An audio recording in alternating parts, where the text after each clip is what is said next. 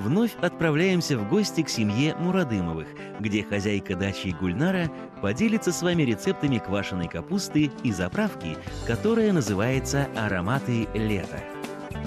А с ранних сортов квашение, вернее, ранние сорта для квашения абсолютно не подходят. Так, здесь у нас зимние сорта.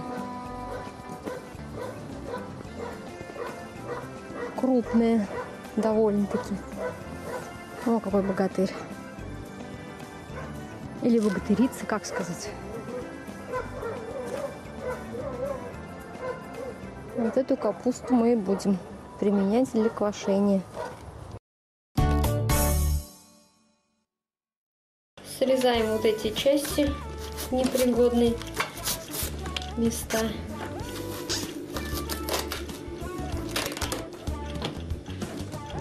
Где есть поврежденные листья.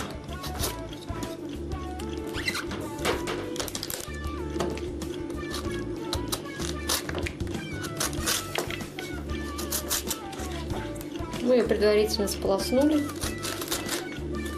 Вообще квасить капусту нужно в мужские дни. Желательно новолуние. А мужские дни недели это понедельник, вторник, четверг. Сегодня понедельник. Сегодня 7 ноября. Когда-то это был праздник Великой Октябрьской революции. Теперь этот праздник упразднили. Так, вот это место тоже надо срезать. Оно тоже поврежденным оказалось.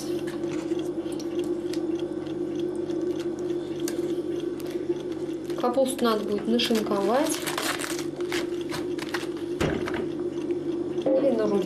Кадушки. Но я вот кадушки как бы такой способ не приемлю, поэтому я люблю нарезать ножом.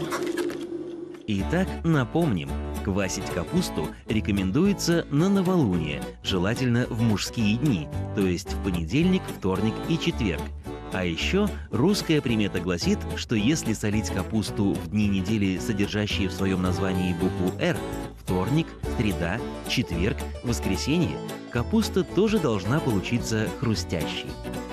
Чтобы капуста взошла и уродилась хорошо, нужно при ее посеве пересыпать зерна из ладони в ладонь. Примета подсказывает, что добиться отличного урожая капусты помогает такая присказка «Не будь голенаста, будь пузаста, не будь пустая, будь густая, не будь красна, будь вкусна, не будь мала, будь велика. Чтобы квашеная капуста не пришла в негодность, в нее хорошо положить осиновую веточку. Благодаря свойствам коры та не позволит овощу испортиться. Вот в эмалированной посуде мы сначала всю капусту нарежем, потом подготовим морковь, клюкву, перемешаем, перетрем с солью и поставим кваситься на трое-четверо суток. Каждый день надо будет протыкать деревянной палочкой, чтобы выходили газы, и убирать пену. После того, как она переквасится, разложить стеклянные банки. И через пару недель она будет готова к употреблению. Обычно у меня получается две таких больших, две такие большие эмалированные емкости. И как бы нам хватает, получается, из них две трехлитровые банки. Ну, вот, обычно достаточно хватает нам до весны. Потому что соленую капусту квашеную можно употреблять в виде составных элементов винегретов, например. Так можно есть. Добавив туда растительного масла и лука. Очень вкусно бывает. А после того, как она посолится и разложится по банкам, если залить ее сверху растительным маслом, примерно на сантиметр-полтора, чтобы масло вступало на поверхности, то такая капуста вообще может сохраниться до глубокой весны. То есть уже когда и снег растает.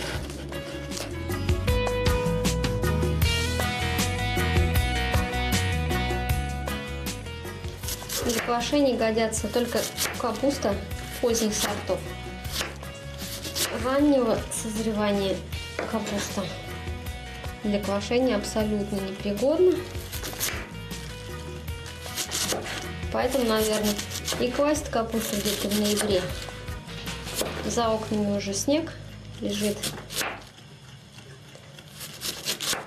У нас уже зима, можно сказать, пришла. Потому что заснеженное все. Очень важно, какую посуду вы выбрали для квашения капусты. Ни в коем случае нельзя пользоваться пластиковой, оцинкованной или луженой тарой. Лучше всего возьмите стеклянную или эмалированную посуду, как это сделала Гульнара. И вот морковь у нас. Сейчас мы половину отсюда возьмем, натрем, смешаем с капустой, перетрем солью. И, можно сказать, уже потом можно ее будет ставить кваситься. Теперь натрем на, на терке морковь. Можно, конечно, нарезать ее брусочками. Тогда капуста будет абсолютно белоснежной. Но в данном случае я решила натереть на терке. Кстати, квашеная капуста – блюдо очень распространенное не только в России, но и во всем мире. В разных вариациях, под разными названиями, немцы, французы, англичане, корейцы и китайцы подают его на стол и знают, что квашеная капуста – это, несомненно, большая польза для организма. А еще самый простой, дешевый и любимый многими продукт – Теперь осталось в капусту, перемешанную с морковью, добавить соль и клюкву, а затем всю эту массу руками, не жалея сил, растереть. Чем тщательнее вы все это разотрете, тем сочнее будет будущая квашеная капуста. Теперь вот этот тазик накрываем крышечкой. Поскольку крышка у нас не совсем подходящая, то мы сначала пленкой накроем, потом крышкой и поставим под гнет. То есть вот такой камень. Сейчас я еще, конечно, придавлю с другого бока. Вот. И уже затем будем смотреть, как у нас процесс брожения идет.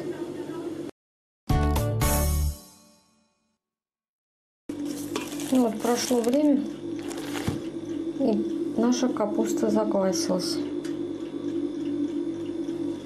Она вот так выглядит, хрустящая. Я пробовала уже. Очень вкусная. Пока Гульнара заполняет банки уже готовой капустой, напомним еще несколько советов. Прежде всего, это касается гнета для капусты. В качестве гнета подойдет гранитный камень или банка с водой, а вот металлические изделия использовать не рекомендуется. А еще, утрамбовывая капусту в банке, нужно следить, чтобы она полностью была покрыта рассолом. И последнее – не следует замораживать капусту, она может стать мягкой и к тому же снизится ее полезные свойства. И вот готовый результат. Две полные трехлитровые банки хрустящей сочной квашеной капусты. Хватит на всю зиму. А наша программа на этом не заканчивается. Наша героиня готова поделиться еще одним вкусным рецептом.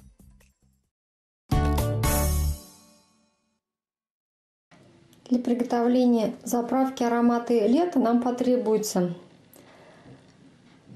примерно грамм 400 помидоров, моркови, тоже грамм 400. Ну, это все, конечно, взято на глаз. Каждая хозяйка, я думаю, у нее у каждой хозяйки свое соотношение. Грамм 300 репчатого лука – грамм 300 болгарского перца. Перец у меня лежит вместе с помидорами. грамм по 200, по 150-200 грамм зелени укропа и петрушки. Ну и, естественно, соль. Нужно также заранее приготовить сухие, э, помыть, вернее, банки, в которые вы будете закладывать эту заправку. Необходимо, чтобы они были сухие и чистые. Первым делом Гульнара измельчает морковь на крупной терке. Казалось бы, зачем тратить столько усилий, если овощи продаются круглый год и по вполне доступным ценам? Ответ прост. Все овощи, из которых состоит заправка, будут домашними, осенними, со своего огорода, а не парниковые, купленные зимой в магазине. Эта заправка используется для добавления в первые и вторые блюда. И то, что в ней много соли, нужно всегда помнить, когда мы добавляем в какое блюдо эту заправку, это блюдо надо не солить. То есть в конце варки, в конце приготовления мы солим именно этой приправой. Поэтому в этой приправе так много соли будет пока еще в ней, конечно, ничего нет. А когда заложим в чистой банке, банки необходимо хранить в холодильнике. Вот у нас морковка получилась примерно в таком объеме. Не очень много. Теперь переходим к перцам. Прежде всего, необходимо вырезать семенные коробки – для этого можно разрезать каждый овощ пополам или, срезав плодоножку, удалить семенную сердцевину. Резать перцы можно так, как вам нравится. Или колечками, или кубиками, или, как это делает Гульнара, соломкой. Главное – удалить из перцев все семечки. Вот мы сейчас сюда добавили к моркови перец, и вот получилась такая красивая картина. Сейчас будем нарезать лук полукольцами. Ну, естественно, перед тем, как нарезать его, надо почистить и помыть.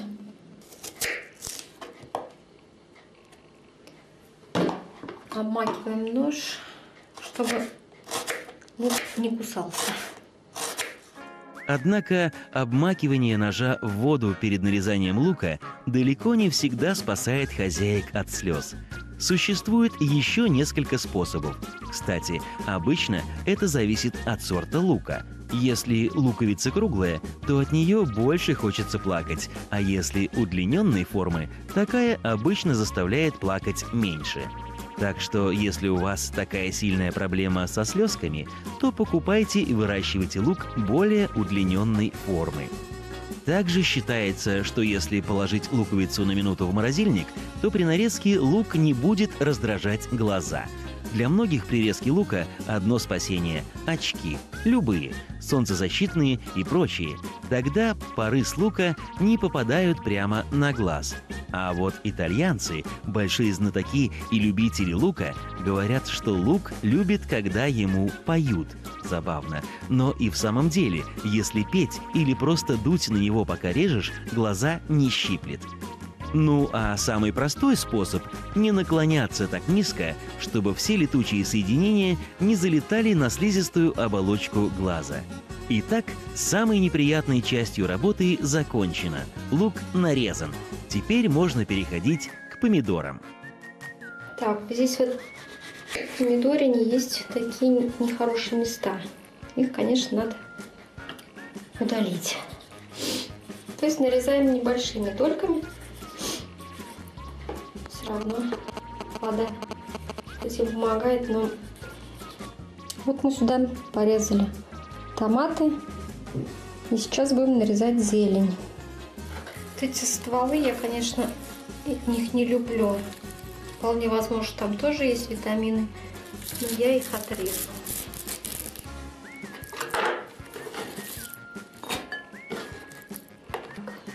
Теперь будем нарезать зелень. Здесь вот тоже стволы остались.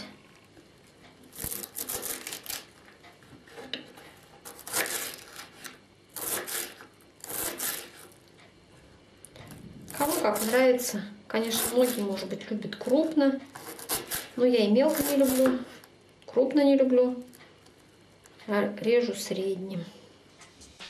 Затем Гульнара тщательно перемешивает готовую смесь, и соль сразу же дает сок. Так же быстро и ловко наша героиня режет петрушку и смешивает с уже готовой смесью. Перемешиваем очень тщательно, так, чтобы соль дошла до всех мест. Потом вся эта масса в присутствии соли даст сок.